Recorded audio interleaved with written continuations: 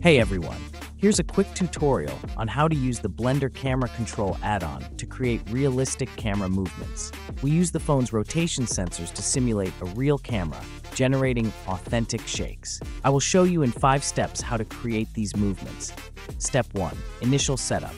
After connecting your device, move the camera to the desired position to start the movement. Once you're in the ideal position, click the Lock Height button. This option locks the camera height relative to the 3D world, ensuring that when moving forward, the height remains unchanged. Step 2. Adjustments. Before recording, adjust the camera height and run a few tests to check if the acceleration speed and inertia feel right before recording. Step 3. Recording the movements.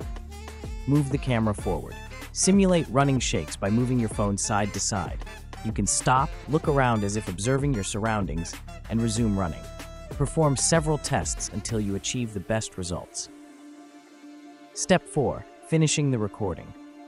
The recording will stop automatically when it reaches the end of the timeline. If you want to stop earlier, just click Stop Recording. After that, wait for the keyframe bake to be completed.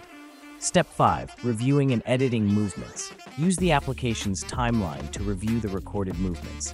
You can move the timeline by clicking and dragging left or right. Navigate to the first or last frame, or advance frame by frame. If something doesn't look right, you can delete the movements and redo them. Conclusion. As you can see, simulating a real camera in 3D using the Blender Camera Control add-on is very simple. Even if you use another software like Maya, Houdini, or Cinema 4D, you can simply download Blender, which is free, create your camera movements, and export them to any software you want. Download the Open Alpha now on Gumroad and try it yourself. Thank you, and see you in the next video.